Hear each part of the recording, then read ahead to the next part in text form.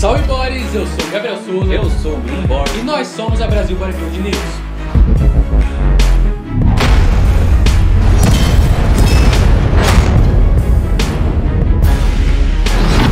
Fala aí rapaziada, como é que vocês estão? Eu espero de coração que todos vocês estejam bem e meus amigos estamos começando mais um vídeo no canal. William Bona que posta atualização física rumo ao Mr. Olímpia 2021. Kaique Pro continua milhão na preparação para o Olímpia e mais uma vez afirma ter potencial para ser top 3 da categoria Men's Physique. Diogo Montenegro está apresentando uma densidade absurda, o melhor shape da sua vida está vindo por aí. Lucas Coelho participa do Uncast e manda opinião sobre Ramondini e Gabriel Zancanelli. Tudo isso e muito mais no vídeo de hoje, então já vai deixando aquele like que sempre ajuda muito na divulgação, se inscrevendo no canal, ativando o sininho e bora começar. E amigos, bora começar o vídeo de hoje falando sobre o Rafael Brandão. Ontem, o Rafa postou em seu Instagram uma nova atualização mostrando seu braço e rapaziada, já estamos começando a ver fibras no ombro do Rafa e a cada atualização ele parece estar cada vez maior e mais seco. Faltam aí um pouco mais de 30 dias para vermos o retorno da fera aos palcos. Ele, que competiu pela última vez na Europa Pro em 2020 e agora está vindo com tudo para subir no Praga Pro e no Romênia Pro em busca de uma vaga pro Olímpia de 2022. Bora ficar de olho nas próximas atualizações do brasileiro. Ainda sobre atletas da categoria Open, agora nós vamos falar sobre um competidor do mais alto nível Olímpia que mostrou seu shape recentemente. Estamos falando de William Bonac.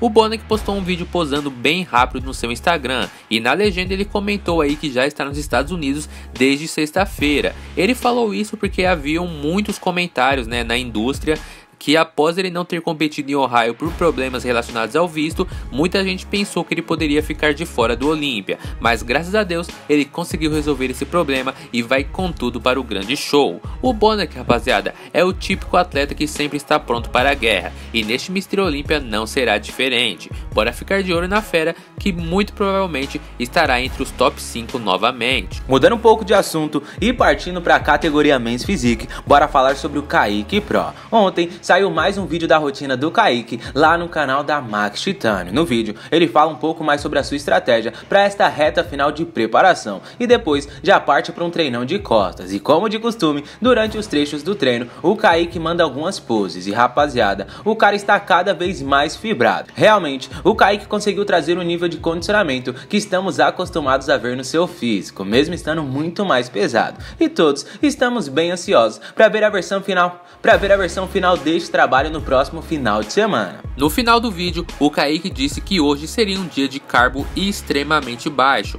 mas que a partir de quarta-feira ele já começaria a encher pouco a pouco o físico. Ele ainda fala que está muito confiante que vai representar o Brasil muito bem e promete no mínimo um top 5, mas reafirma mais uma vez que tem totais condições de pegar top 3 da Men's Olímpia se conseguir chegar com seu físico no auge 100%. O Kaique ainda agradece todo o apoio e suporte dos seus fãs nos últimos tempos e que fica muito feliz né, com o tanto de mensagens positivas que ele vem recebendo. Mas e aí, amigos, quais são suas expectativas para o Kaique no grande show? Comentem aí e bora continuar. E ainda sobre a categoria Men's Physique, Diogo Montenegro postou uma foto extremamente condicionada rumo ao grande show e quem está ali atrás dele é o Urs Kalensisk, que também está em reta final de preparação pro Olímpia, este que será o seu primeiro Olímpia da carreira. Amigos, eu confesso que estou bem ansioso para ver o que o Diogo vai conseguir neste Olímpia, porque ele está trazendo um shape muito bom e talvez o melhor shape da sua vida. Eu acho que ele vai surpreender muita gente. Bora ficar de olho e na torcida pela fera. Rapaziada, e vamos finalizar o vídeo de hoje com um corte da participação do atleta 212 profissional Lucas Coelho no Uncast, o podcast de Caio Botura e Coach Rubens. Ontem, o Lucas foi o convidado especial do podcast e por lá ele falou sobre diversos assuntos, suas expectativas para o Mr. Olímpia, como foi ser avaliado pelo Big Ram, sua trajetória de vida e muito mais. Em determinado momento da conversa, os nomes de Ramondini e Gabriel Zancanelli foram citados e o Lucas opinou sobre eles. Afinal, ele passou algumas boas semanas vendo os dois atletas de perto lá na República Dominicana. Lembrando que esse é o último tema do vídeo de hoje, então já fortalece no like, se inscreva no canal e confiram aí o trecho.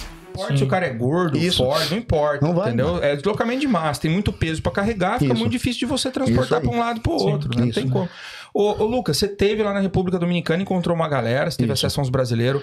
Especificamente, como que tá o físico do Zancanelli e do Ramon, mano, cara. É dois, os caras estão fora do comum, mano. Tão bom? Tão. Tão mesmo? Tão, tão mesmo.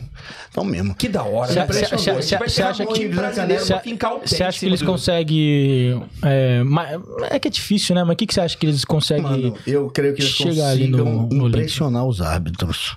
Porque assim, a gente sabe que o nosso país está vi sendo visível hoje. Uhum. Hoje. Uhum. Ah, tem atletas que já levaram. Tem. Eu estou falando da nossa época e do nosso tempo.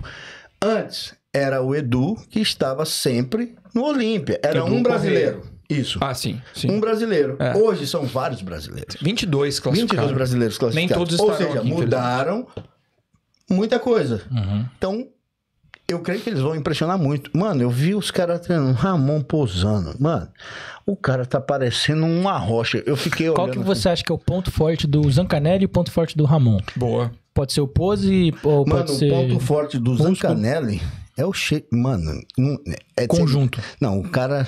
Os dois têm. Os dois têm um conjunto Eu não sei nem o que falar, porque eu, agora eu posso dar minha opinião. Sim. De Costa, eu creio que o Zancanelli tem mais espessura que o Ramon. Hum. Questão de, de Então, de... talvez de costas o Zancanelli ganharia. Sim, sim. Hum. Meu ponto de vista. Sim, sim. É isso. Não desmerece o Ramon. De forma alguma. Claro. É uma análise. Porque na, uhum. no Brasil, se você não é, ah, é, a favor de um, você é contra o é, outro. Parece não, que você odeia. Não, eu sou corintiano, então você odeia o Não, porque não tem, não tem essa. Porque, querendo ou não, na pós de costas, um vai ganhar. Não vai, vai ganhar os dois. Na pós de frente, o outro vai ganhar, assim, cara, entendeu? questão de muscularidade eu nunca vi. Os dois é na pegada. É. Os não estão vindo a passeio também. De forma alguma. Ótimo. De forma alguma. A mente dos caras estão trazendo uhum. ele. Porque assim, o que faz você evoluir é sua mente. E eu creio que eles Com estão certeza. focados 100%, sabe? Qual que é? Qual Esse é estresse é? do visto lá não afetou muito eles? Cara, pode ter afetado sim. Não sim. vou mentir porque afeta. Querendo ou não, é, é ser humano, tem uhum. sentimentos aflorados é, no cotidiano.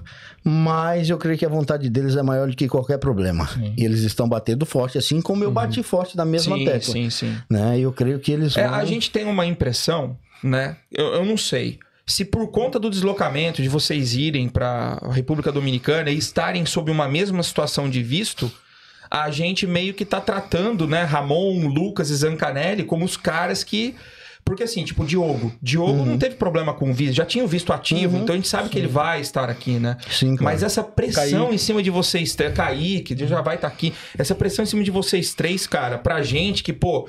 Pô, bicho, eu vou fazer 40 anos. E é o primeiro Olímpia dos três, né, mano? Muitos anos, cara, muitos anos para eu poder ver o Brasil mandar um time pra cá, cara. É verdade. Eu senti muita falta de ver isso, mano. Uhum. E agora que a gente tem a oportunidade, eu tô querendo viver esse bagulho logo, mano, entendeu? Uhum. Vocês não estavam aqui, Só véio. faltou é, um brasileiro então... na Open pra ter um brasileiro em cada categoria Só, masculina. Verdade. Só faltou isso. Verdade. Porque nunca tinha, tipo assim, na Classic, primeira vez. É. Uhum.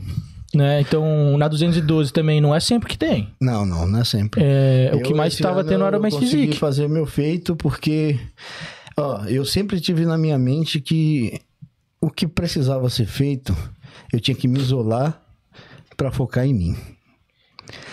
Ah, eu vivi muito tempo ali no Brasil, colocando as minhas expectativas no que eu conseguia vislumbrar mediante o que a mídia social me apresentava. Uhum. Parei disso.